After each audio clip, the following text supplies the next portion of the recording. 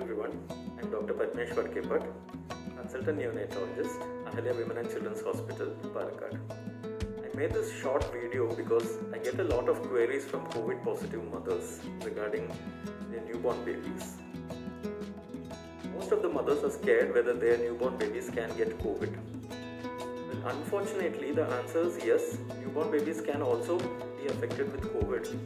But the good news is that only percentage of newborns actually get COVID. Even if they get, the uh, infection is usually mild or even asymptomatic.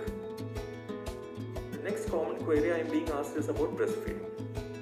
Breastfeeding is absolutely safe. A COVID positive mother can continue breastfeeding her baby.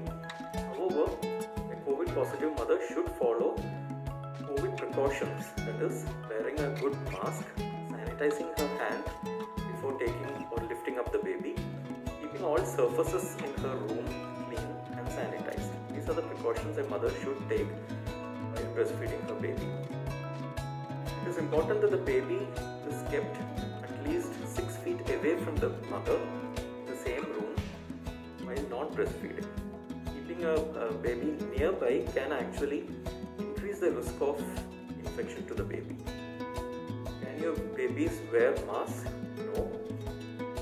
Till 2 years of age, children should not wear masks. These are the precautions you should take. Stay safe, everyone.